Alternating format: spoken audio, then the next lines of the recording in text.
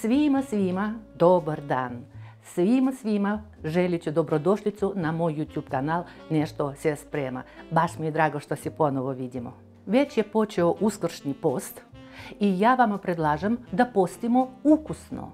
A zato predlažem danas da spremimo salatu od pečuraka. Interesantno jelo.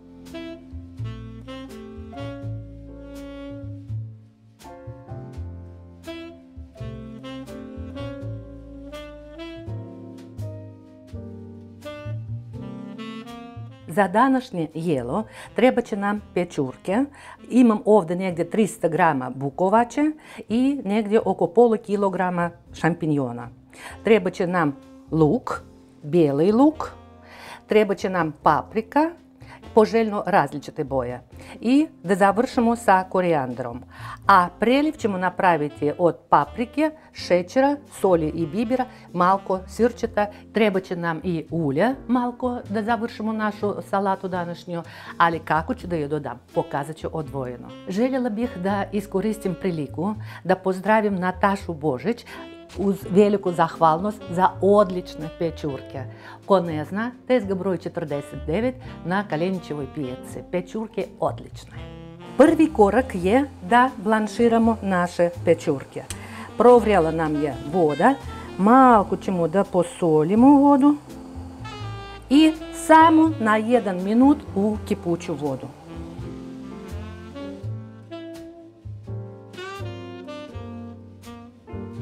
Kad blanširamo pečurke, pazimo da ne pokipe.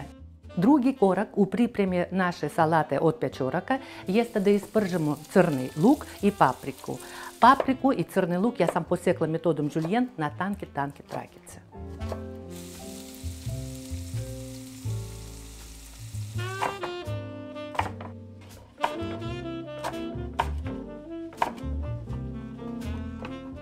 Narode, ostalo je samo da sastavimo našu salatu od pečuraka i da je začinimo. I to je to.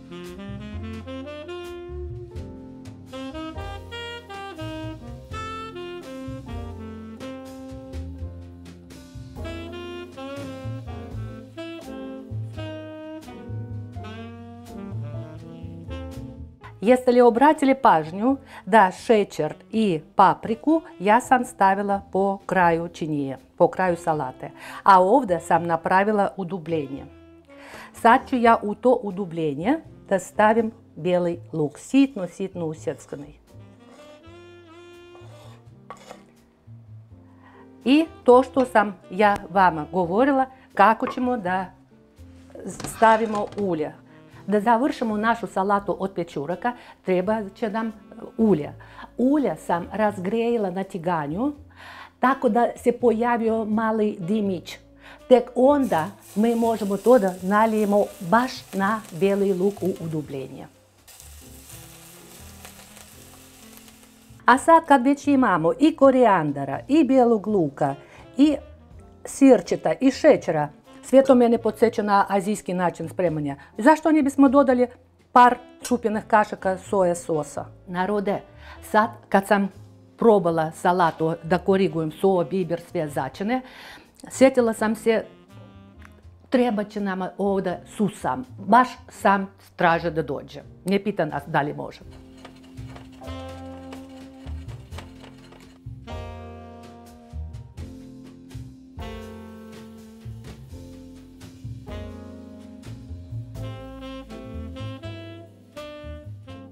Dragi moji, pripremili smo našu salatu od pečuraka.